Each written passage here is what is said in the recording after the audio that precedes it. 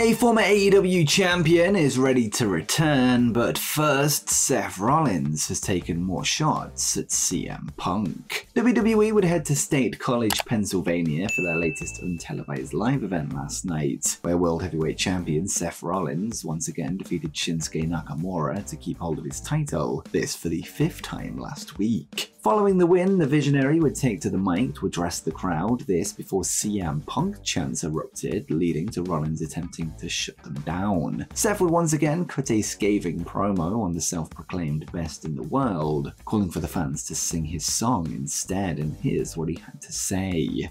I really don't feel like talking about that bomb tonight. Instead, I'd like to take a second to express my gratitude to each and every one of you guys. From all of us in the back, everyone in WWE, we just want to say thank you, happy holidays, we'll see you guys next time, we love you. Now do me one favour, you've been singing my song so beautifully all night long. Let them know in the state college who the real best in the world is. Whilst the second City Saint wasn't in attendance at the live event to respond, he would be booked to appear on the NXT Deadline pay-per-view the night before, this after he apparently missed his flight home from Connecticut. Punk would show up during the opening segment of the show alongside NXT creative leader Shawn Michaels, donning a pink Bret Hart hoodie, before the top free agent teased that he may be signing for the NXT brand. The decision as to which brand he was signed for will be announced tonight on Raw, although the black and gold brand is probably the least likely likely option to say the least. As for a backstage update, according to Fightful Select, CM Punk appeared very happy backstage at NXT, adding that there were many excited to have him there. Haus of Wrestling would add that Triple H was also at the show, and Punk's interactions with the WWE CCO were described as legit very good. Those that this spoke too close to Punk added how happy he is right now in WWE, and that he's just looking to keep riding the wave that he's on.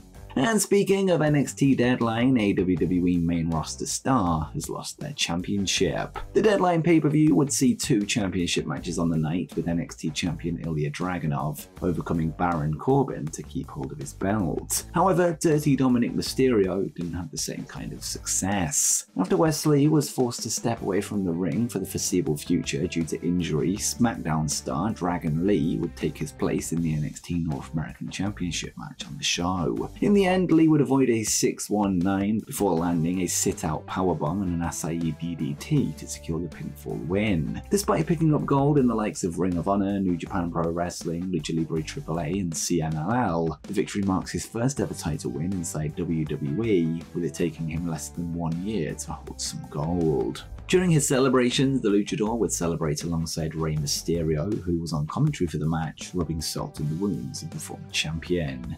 Next up, a former WWE star has announced their first post-WWE match. Former world champion Dolph Ziggler currently finds himself as a free agent, this after he was released back in September. Prior to him becoming available to appear in a non-WWE ring on December 20th, when his non-compete clause expires, he's officially announced his first match outside of the company. In a video posted to the Lucha Libre Online X page, the show-off would call out Puerto Rican wrestling star Ray Gonzalez, who is a 21 time Universal Champion in Carlos Colon Sr.'s World Wrestling Council. In the same batches of releases as Ziggler, Mace, and Mansoor of the Maximum Male models would also be on the chopping block, although they've just made a debut that would seemingly happen before their 90-day non-compete clause expires. Last night at the Deadlock Pro Wrestling two-year anniversary event, a promotion owned by wrestling game YouTubers Tony Pizza Guy, CM Pulse, and John Blood of New Legacy Inc., Mace and Mansoor would make their debuts for the promotion. The appearance feels like a good fit with the two former wrestling models being in tune with online gaming and wrestling culture, and it's no doubt a good pickup for DPW as they continue to go from local to global.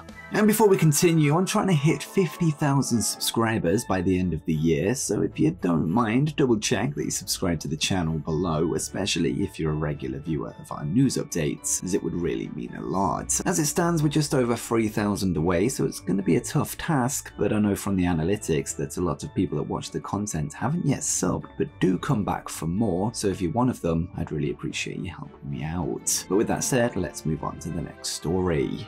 Next up, a wrestling legend has reappeared. WCW legend Bill Goldberg still technically finds himself on the free agency market as we wait to see if he'll show up again inside a wrestling ring for one final retirement run. Whilst he hasn't stepped between the ropes lately, he did show up at an NFL game last night. Prior to Sunday's game between the Atlanta Falcons and Tampa Bay Buccaneers, Goldberg would step onto the gridiron to spear a man wearing a Tom Brady Bucs t-shirt before accepting a custom WWE title belt donned with the Falcons' infamous crest. This wasn't the first time that Bill represented Atlanta on the football field, as he would actually play for the team from 1992 to 1994, although this was in a very different capacity to that of last night. Unfortunately for his favourite team, the Buccaneers would leave with a 25 29 victory. We now wait to see if we'll see the same spear or perhaps even a jackhammer inside the squared circle at some point in 2024.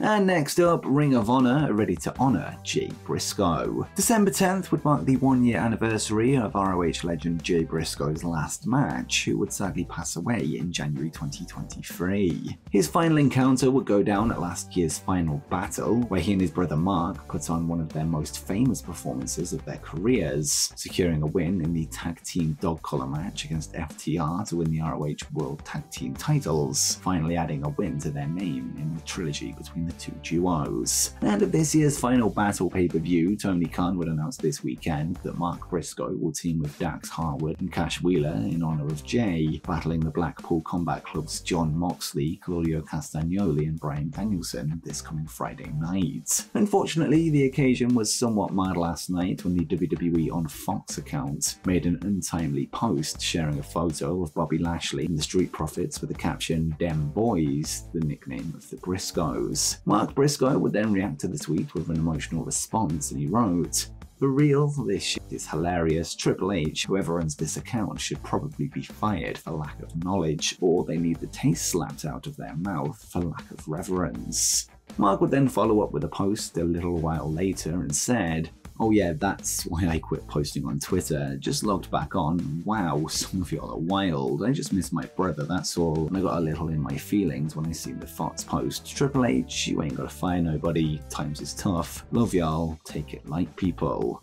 Whether the admin of the Fox account was intentionally disrespectful or genuinely ignorant of the timing is unclear, but inside the world of pro wrestling there will only ever be one Dem Boyz, and that's the Briscoes, regardless of its existence in other realms. With that in mind, let's read through a heartfelt message from Dax Harwood of FTR, who paid homage to the dog collar match one year on, and he would say, one year ago today, we had the greatest match of our career. To me, it encapsulates everything FTR has represented emotion. We couldn't have achieved that without having our equals there to bring that emotion out of us. The story going into this match proves that whatever you believe, there has to be something bigger than us out there. This night, we all four sat in the locker room, no one around, bloody from head to toe, each with a tequila in our hand, talking about the end of this rivalry, how we'll never experience anything like this again, how all four of us from now until forever would be connected, and we were okay with that. How years from now, decades from now, we'll be traveling to conventions and meet and greets just to talk about this rivalry and this one match in particular. Then it all changed. The picture of Jay, the intensity on his face, a chain wrapped around my mouth, the emotion in Paul, Cash desperately doing everything in his power, even if it means losing, to save his best friend from death, while Mark is using every last ounce of energy in his body to block him, is the greatest snapshot of my career.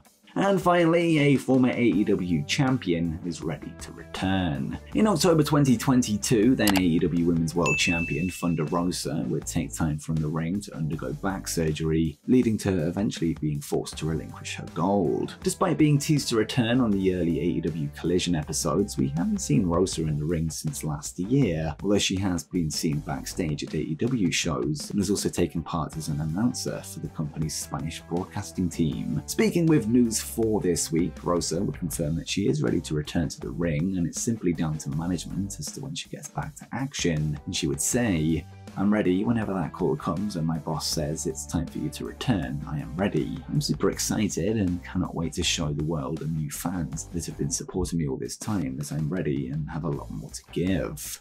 There is no official date as to when we could see Thunder Rosa again, although she would be a good candidate to challenge Timeless Toni Storm for the AEW Women's title at some point, a title she never lost. You could say she's the real Women's World Champion. And before you go, make sure you check out 10 masked AEW wrestlers unmasked.